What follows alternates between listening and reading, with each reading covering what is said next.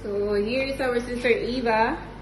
Hello. She's doing uh, power slim to burn fats and to revitalize and detoxify. So we are doing 40 minutes session. And right now, 36 minutes remaining and 13 calories burn. O, di ba? Balikan dog. Under, under 62 degrees temperature. Wow. Siya. How do you Hello. feel, sister? Feel good to become sexiest ever of the year 2020. 2022. so, yan. Manda na kayo. Balikan dog program. Yes. Try this. Punta kayo dito.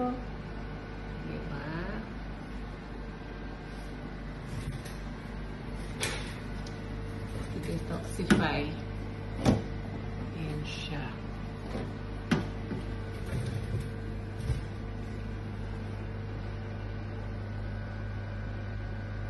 You can actually sleep while doing this.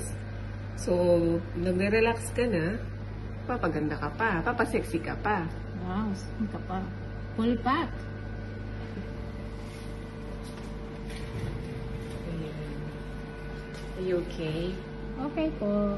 Salamat. Ayan, yung mga fans ni sister. Hello, shout out. Shout out everyone. May mapapanood na kayo. Thank you, Slim and Beauty. Yan. Even Aramina is doing this. You can watch her vlog. So we have also Aramina here. live, in real life. Tomorrow, you have to weigh and measure. Ang sexy na niya.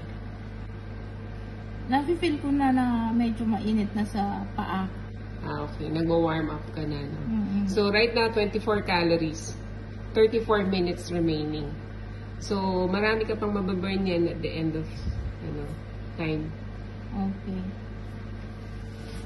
Okay. For now, yan muna. Thank you Later, guys. we will check how many calories na burn niya at the end of the session.